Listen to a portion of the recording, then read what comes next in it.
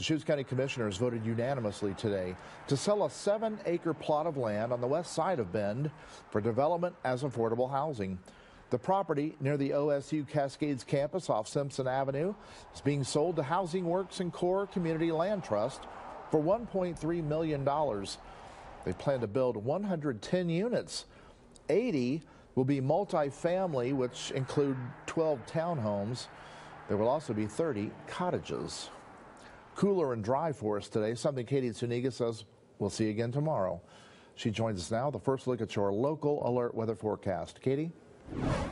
Lee, we've definitely had a few more clouds today as we talked about going into the evening last night. In fact, you can look at this mostly to partly cloudy skies depending on where you are within the region. Just an itty bit of skyline we can see right here along the horizon off of this Bend Airport camera. When we look at what's going on around the region, you can definitely see that there are areas that have thicker clouds than others. Some of us are going to see a bit more sun. We're still seeing those showers we talked about yesterday along the crests and then the west slopes of the Cascades, but we have been dry here without the region, just like we've talked about.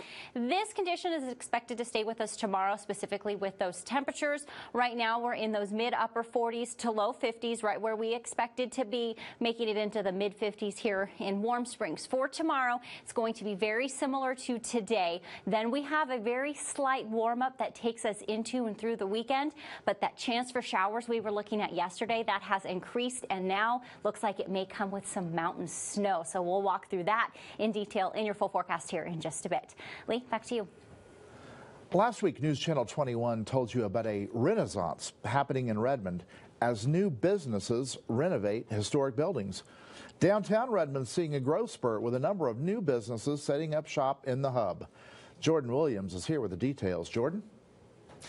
Lee, while some Redmond, Redmond businesses closed shop during the pandemic, a large number of new businesses moved in, giving Redmond's downtown a diverse business look.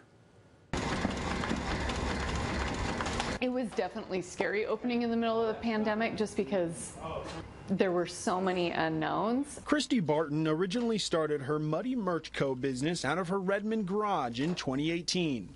The fact that it was in the middle of the pandemic, I actually think it played to our advantage. One, it kind of took a pressure off for expectations. Barton moved into this storefront on Southwest 6th Street in September 2020, about six months after the pandemic started.